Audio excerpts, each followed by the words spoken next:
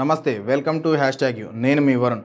రాష్ట్రంలో అసెంబ్లీ ఎన్నికల షెడ్యూల్ విడుదల కావడంతో అన్ని ప్రధాన పార్టీలు హడావుడి మొదలైంది.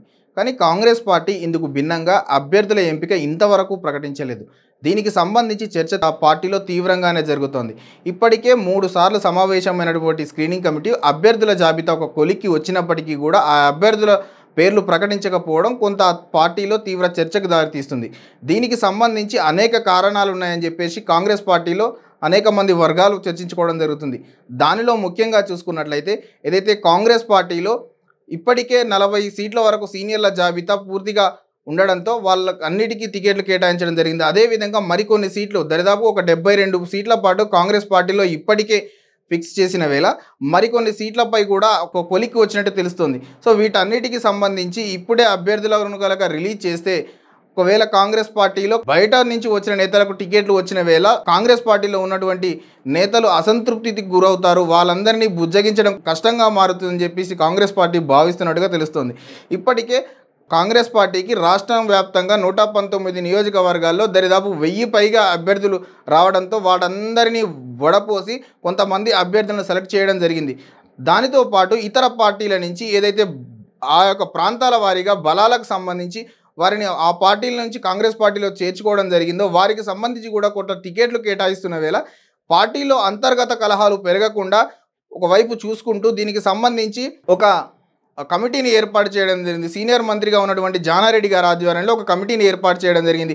ఈ కమిటీ యొక్క ముఖ్య ఉద్దేశం ఏంటంటే పార్టీలో పెరుగుతున్నటువంటి కలహాలు తగ్గించడం ఆ యొక్క పార్టీలో ప్రాధాన్యత వస్తుంది. ఎవరైతే టికెట్లు రావలేదో వాళ్ళందరికీ కాంగ్రెస్ పార్టీ అధికారంలోకి వచ్చిన తర్వాత వాళ్ళన్నిటికీ ప్రాధాన్యత కల్పిస్తామని చెప్పేసి కొంత బుజ్జగింపు చర్యలు చేయడం ద్వారా సక్సెస్ అవుతాము అని చెప్పేసి కొంచెం కాంగ్రెస్ పార్టీ భావిస్తున్న వేళ దీనికి సంబంధించి ఇంకొక విషయం కూడా తెరపైకి వస్తుంది. ఒకవేళ ఇప్పుడే మనం కనుక అభ్యర్థుల లిస్టును ప్రకటిస్తే ఏదైతే కేసీఆర్ కాంగ్రెస్ పార్టీ బలంగా ఉన్న చోట ఆ యొక్క అసంతృప్త నేతలను తన పార్టీలోకి చేర్చుకొని వాళ్ళకి ఏదో ఒక పదవులు ఇచ్చి ఆ యొక్క ఓటు బ్యాంకును చీల్చి కాంగ్రెస్ పార్టీకి ఆ ప్రాంతాలలో నష్టం చేర్చే విధంగా కొంత ప్రణాళికలు రూపొందిస్తున్నట్టుగా తెలుస్తుంది. దీనికి చెక్ పెట్టేలా కాంగ్రెస్ పార్టీ ఎన్నికల షెడ్యూల్ విడుదలయ్యే వరకు అభ్యర్థుల జాబితాను ప్రకటించకుండా కొంత జాప్యం చేసిందని వ్యూహాత్మకంగానే కాంగ్రెస్ పార్టీ వ్యవహరించింది అని చెప్పేసి కాంగ్రెస్ పార్టీలో ఉన్నటువంటి కొంతమంది సీనియర్ నేతల చెప్తున్నట్టుగా తెలుస్తోంది. సో ఏదైనా కూడా కాంగ్రెస్ పార్టీ యొక్క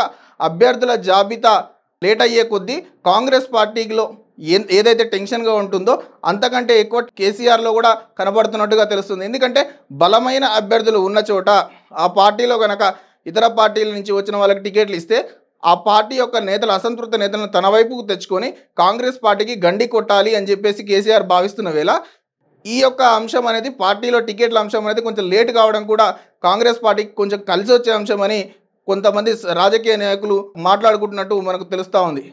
సో చూడాలి. ఇప్పటికే పలుమార్లు చర్చలు జరిపినటువంటి మీటింగ్లకు జరిపినటువంటి స్క్రీనింగ్ కమిటీ ఇప్పటికే ఒక నేతల అభిప్రాయాలు తీసుకొని పార్టీల యొక్క అభ్యర్థుల యొక్క లిస్టును ఫైనల్ చేసినట్టుగా తెలుస్తోంది. రానున్న ఒక గత రెండు వారాల తర్వాత కానీ లేదా పద్నాలుగు పదిహేనవ తారీఖులో ఒక డిసిషన్ తీసుకొని ఆ తర్వాత ఒక రెండు మూడు రోజుల తర్వాత పూర్తి ఫైనల్ జాబితాతో పాటు కాంగ్రెస్ పార్టీ మేనిఫెస్టోను కూడా విడుదల చేయాలని చెప్పేసి కాంగ్రెస్ పార్టీ భావిస్తున్నట్టు తెలుస్తోంది. ఏదేమైనప్పటికీ కూడా అభ్యర్థుల జాబితా లేట్ కావడం కాంగ్రెస్ పార్టీ ఒక వ్యూహాత్మకంగానే ముందుకు అడుగులు వేస్తుంది అని చెప్పేసి మనకు స్పష్టంగా తెలుస్తోంది. దీన్ని కేసీఆర్కి చెక్ పెట్టాలి కేసీఆర్ ఆలోచనలకు దూరంగా ఉంచాలి అని కాంగ్రెస్ పార్టీ భావించిన వేళ. సో ఈ యొక్క కాంగ్రెస్ వ్యూహం ఎంతవరకు సక్సెస్ అవుతుంది? కేసీఆర్కి ఇది ఒక అంతు చిక్కని పద్మ వ్యూహంలా ఉందా? అని ప్రజలు మాట్లాడుకుంటున్నట్టుగా తెలుస్తోంది. చూద్దాం రానున్న రోజుల్లో ఎలాంటి మార్పులు జరగబోతున్నాయో. మరిన్ని తాజా సమాచారాల కోసం చూస్తూనే ఉండండి. Hashtag you.